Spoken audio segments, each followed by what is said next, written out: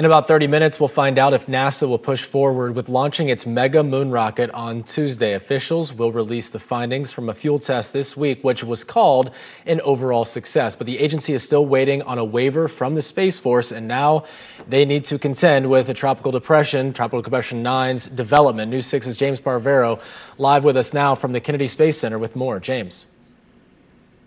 We'll start with that weather, Justin. So the Space Force is saying it this morning that their new release shows that there's an 80% chance of a weather violation on Tuesday with the possibility of tropical storm force winds here at Kennedy Space Center.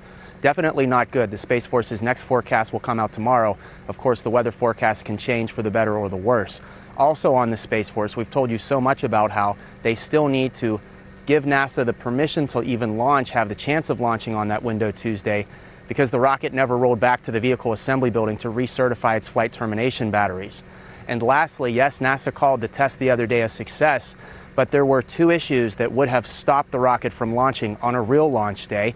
First, it takes a lot of time to work through a hydrogen leak, and so NASA would have missed its opportunity with a window. And also at the same time, NASA says enough hydrogen leaked during a pressure test that it would have stopped a real countdown. Now, nevertheless, NASA says they accomplished everything they set out to do in that eight or nine hours of testing. So at the bottom of the hour, NASA will give us its update. Will it press forward with trying to launch next Tuesday despite bad weather, or they have a backup opportunity on Sunday, October the 2nd? The issue there may be they're within 24 hours of the next SpaceX crew of astronauts going to the International Space Station. That's the Crew 5 launch, which is currently scheduled for Monday, October the 3rd.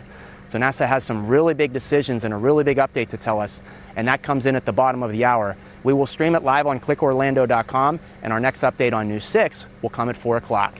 Live at NASA's Kennedy Space Center, I'm James Sparvero, getting results News 6.